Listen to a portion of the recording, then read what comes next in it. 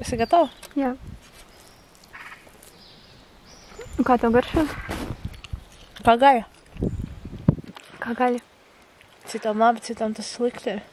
Konsistence, jā. Nu, garš Kā šašlikam. varētu būt nu, pa 60%. Oh my god, tas jau labāk nekā puse. For my non-Latvian speaking viewers, this is going to be a vegan remake slash recipe of a popular Latvian grill dish called shashliks. I'll leave all the directions and amounts of everything in the description box below in English so that you can follow through as well. Yet I recommend not using as much spices as we do because it was really too spicy, but otherwise I hope you enjoy. Es arī ņemu sīpo un griezīsim. Griezīsim. Viss ir tāds, kurš tā griež sīpolu?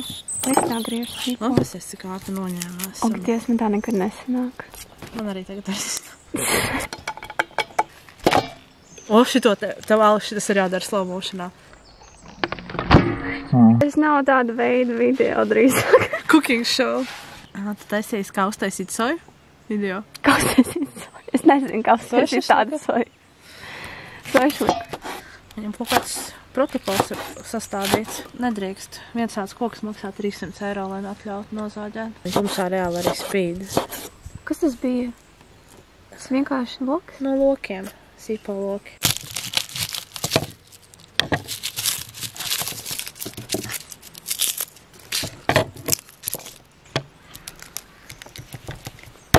Spank it real hard.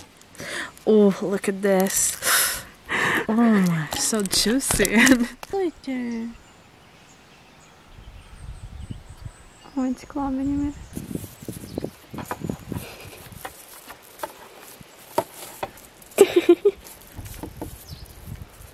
Milzīgs velts. Viņš izstās jau uzreiz. nu, pagad, tagad. Jā, Pagad. labi vienkārši. šitā izdarīšu. Pagad, vai šeit ir? Blūpers behind the scenes ir? Ir, ir. Vai pagad, nē, man tirks nesmuki. O, o, o. Jā. Ženiāli. Pastāsti lūdzu, kas tas tāds ir. Kas ir kas? Tātad. Šī būs persilāde, Labi. kur principā iekšā ķuplociņi, pers, persili, Persiki. Persili. Pēters. persiļs Džeksons, šašlika garšviela, Yes. kas būs Tasty Home no Maximas. Un šī attiecīgi ir Santa Marija, pikantā garšviela gaļai, bet gaļa no, no, no, mēs neizmantojam gaļu šajā, šajā vietā. Un tad šī būs uh, persilāde. Uh, tur iekšā ir ķiplociņi pe... Persili. Kā viņš saucās? Pētersili. Uh, persiļāde.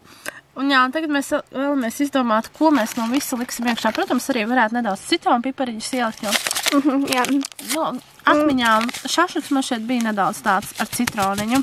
es neatceros. Es arī neatceros. Ah, Nu, perfekt. un, protams, pats svarīgākais šajā procesā ir visu samaisīt. Tā kā aiz kameras mēs, protams, pieliesim vēl eļļu klāt, jo mēs gribam šeit uz kameras būt ļoti veselīgi.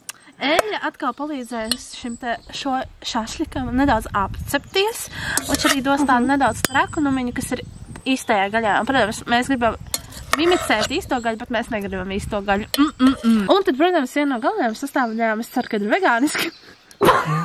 Joks, tas ir kečups. Protams, kečups būs vegānisks vienmēr. Tomātu mērs ar dārzeņiem. Liekam apmēram šitik daudz. Ideāli. Cik tas ir? Nu, skatīsimies pēc tā, cik mums daudz vajadzēs.